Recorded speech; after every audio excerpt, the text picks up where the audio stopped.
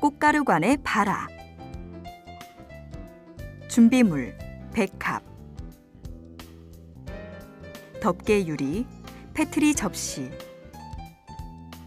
가운데가 오목한 받침 유리. 거름종이.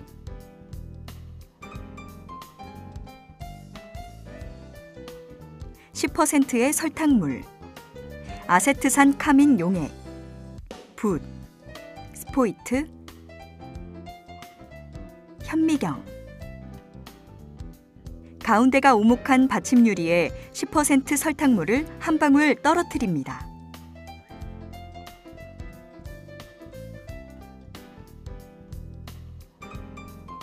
백합의 꽃가루를 붓에 묻혀 받침 유리 위에 설탕물에 떨어뜨리고 덮개 유리를 덮습니다.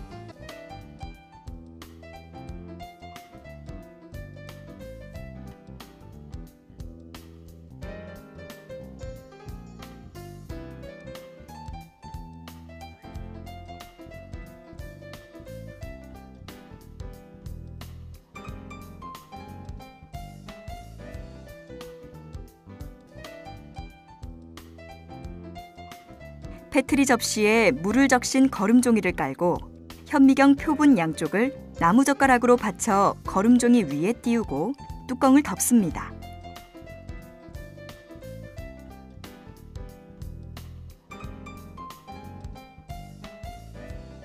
(25도씨에서) (30분) 정도 둡니다.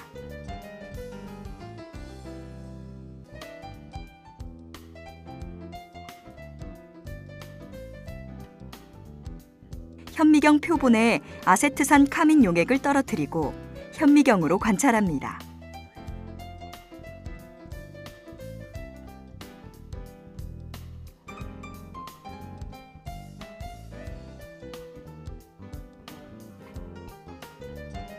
꽃가루관이 발아한 것을 관찰할 수 있습니다.